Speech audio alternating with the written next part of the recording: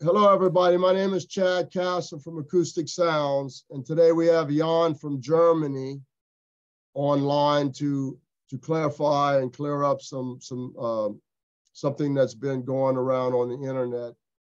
Jan, I I've been getting a lot of calls from people all over asking me about there's a rumor going around that Speaker's Corner is going out of business. What? Well, it's funny that you're asking me because you're actually the first person to come to me, and we have been the global distributor for Speaker's Corner since April of last year. But it seems nobody thought to contact us.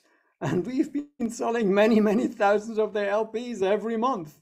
But hey, that's the world. So um, we actually heard the same rumor earlier this morning when we got an email from Christiane at Speaker's Corner. It's like, Jan, have you heard this funny rumor? People are saying we're closing down. And that's complete BS. So you don't have to put that. And we checked on the internet and we found a, a, a Steve Hoffman forum where people were discussing they were closing and we entered like guys this is like completely wrong but felt mostly ignored we actually found a video on youtube where people seemingly without any evidence whatsoever discussed yeah it's difficult for the small labels yeah it is and now well they need to go out of business and close down because there's no more licenses and I was like, what are you talking about? And one of the people in this video was actually from Germany and they didn't contact us and they didn't contact Speaker's Corner.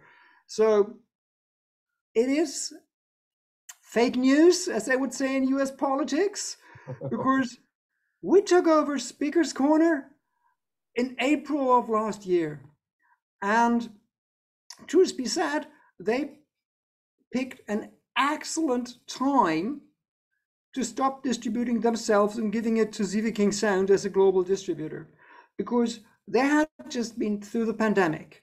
Their stores were depleted, they had very little to sell at all or to transfer to us.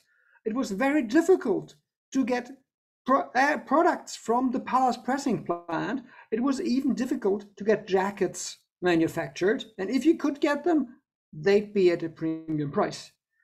So when we took it over, I think it was eight Speakers Corner titles that were in stock and available in limited quantity.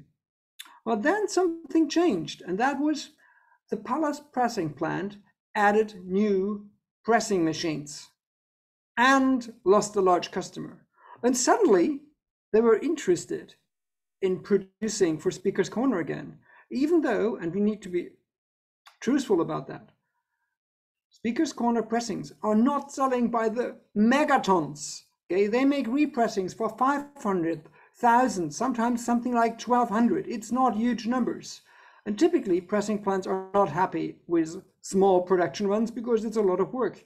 But they managed to get a lot of these small production runs for their repressings, for the popular titles. And also for the less popular titles because they've got some really good classical stuff in there as well. And, well, truth be told, I checked today from the eight titles we used to have, we are now to 122 titles that we do have in stock for international sales. And there is no day where we don't sell them. We've got like a rolling quarterly forecast of what needs to be reproduced we are getting titles back in stock that had already been discontinued because there still is a demand. So whoever put out the rumor that they're going away, he was really, really bored. And there must be enough people in forums who that, wow, this is something great to talk about. A demise of a small label. Let's jump on it. Yeah, well, you know, it's good to hear that it's not true, but you know, with all the other crazy things that's been going on in the last year, um, I, I, I didn't want to believe it. I mean, I I got a bunch of calls like really quick, and I'm like, man, I didn't hear anything about this, and man, that I don't think that's true. And if it is, you know, if it is, I'll be very surprised. But let me call the horse, you know, get it out the horse's mouth, you know. And, and, yeah. if I was a smarter businessman, or simply yeah. more greedy. I would have go, uh, gone for the Gordon Gekko and told Chad, you know, Speaker's Corner is in deep trouble. We're in deep trouble. You want to buy the whole inventory at a good price. You can have the whole inventory in the world. I would have made a killing. But just yeah. that's not me. well, like I said, you know, like I got the call, then I got a couple more calls, and they were from serious people, serious people I know, and they seemed pretty serious. And uh, they weren't from just anybody, they were from, you know, some of the important people, the YouTubers, and um, I'm like, hey, you know, let me check on this because you know, the worst thing is, you know, repeating false information or spreading uh, bad rumors. And uh, so it's like, yeah, what what do you do? You call the source and ask them. And I was glad to hear that's not the case. Also, it was very interesting to know that y'all were down to eight titles and up to 122. That's amazing. And you know, we all went through that craze rush of vinyl sales and not being able to get on the press. And you just have to dig yourself out of that hole. And I would say eight to 122, y'all, uh, there's a lot of progress was made. And uh, we love Speaker's Corner. We always have. I've been selling Speaker's Corner for 30 years. I've been dealing with Kai. He's one of the the people that believe in analog and uh, analog all the way. And I know his process. I know the mastering engineers he's used, Kevin Gray, uh, you know, and William Mackey, and and uh, these these other great uh, famous engineers. He's been doing it right. Right, right, and then using Pallas, and you know, uh, you know, we've had a long, long relationship, and I've been selling for over thirty years. So it's like I was hoping it to be wrong. Um, you know, I know that things change now, and uh, you know, he wants you to be his distributor and handle the day-to-day sales, which I can understand. He's been doing it a long time, and uh, yeah. Well, you know, see, you need to get the right picture there. Uh, Speaker's Corner um, has always been a small operation. Many of the LPs they shipped worldwide, they packed themselves or with a helper too. And if you get in a large order and it's for 2000 LPs, you're happy at the first moment. But if it's 2000 LPs with 60 different titles, you spend the better part of a day just packing it and then recounting it putting it on pallets, shrink wrapping it, and getting the paperwork for international sales done before somebody can pick it up for air cargo. And then you got to babysit the shipment because it never goes through smoothly. And that's part of the process. And Kai is, well, what we would call in Germany retirement age. And they got grandkids they want to take care of. And they got a sailboat they want to use more often.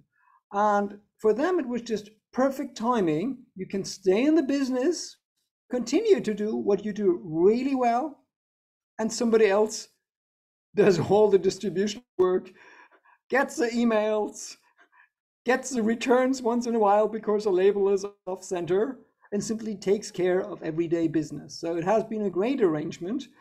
Well, we actually had to get a larger warehouse to make it possible because we knew how much stuff they would be coming. Hey, you know, I mean, listen, you know, we we all work hard. He's been doing it a long time.